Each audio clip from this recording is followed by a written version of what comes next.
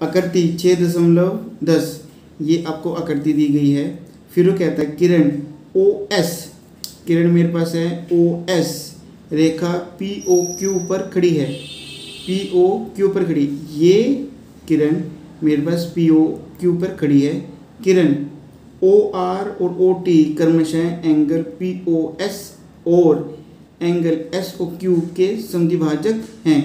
आपके पास किरण है ओ से आर ओ से आर जो किरण है, क्रमशः यानी कि ये किरण इस एंगल के साथ जाएगी और ये किरण इस वाले एंगल से जाएगी। इसका मतलब होता है क्रमशः ओ आर ओ से आर किरण है पी ओ एस को समद्विभाजित करती है।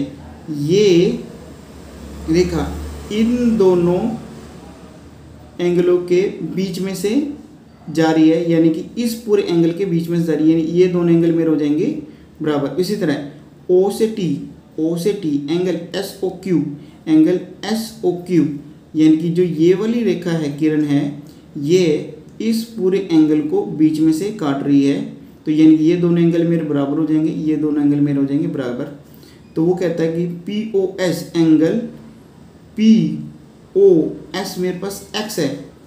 तो देखो, ये पूरा मेरे पास एक्स है, ये किरण मेरे बीच में से काट रही थी ये हो जाएगा मेरे पास एक्स बटे में दो और ये मेरा हो जाएगा एक्स बटे में दो।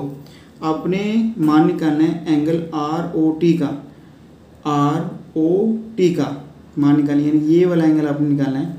तो दोस्तों, ये दोनों बराबर है, ये दोनों बराबर। अगर मैं इसको वाई ले लूँ तो ये भी मेरा हो जाएगा वाई तो एंगल आर ओ टी का जो मेरे पास माना जाएगा angle R O T X बटे में दो, और जमा में मेरे पास वाई हो जाएगा।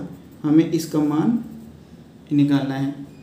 तो हम लगा देंगे रैखिक युग्म एंगल पी ओ आर जमा एंगल आर ओ एस जमा एंगल एस ओ टी जमा एंगल टी ओ क्यू मेरे पास हो जाएगा 180 डिग्री रैखिक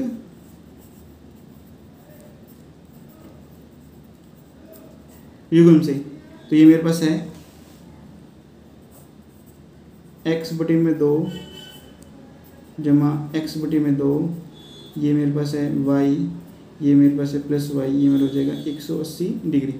आपको वैल्यू निकालनी है एक्स बटे में दो जमा वाई एक्स बटे में दो जमा वाई तो मैं इनको लिख सकता हूँ, अगर मैं यहाँ लगा दूँ ब्रैकेट तो एक्स बटे में दो जमा एक्स बटे में दो मेरे पास हो जाएगा दो गुना में एक्स बटे में दो। ये मैं लगा देता हूँ प्लस वाई और वाई मेरे पास जाएँगे टू वाई बराबर हो जाएगा एक सौ अस्सी डिग्री के। तो ये दो दो मैं ले लेता हूँ कॉमन तो जब मैं दोनों में से दो दो कॉमन लेंगे मैं अंदर मेरे पास जाएगा एक्स बटे में दो, जमा बच जाएगा वाई बराबर मेरे पास हो जाएगा एक सौ अस्सी डिग्री। तो ये वाली वैल्यू मेरे पास किसके है बराबर है? एंगल आर ओ टी के बराबर है।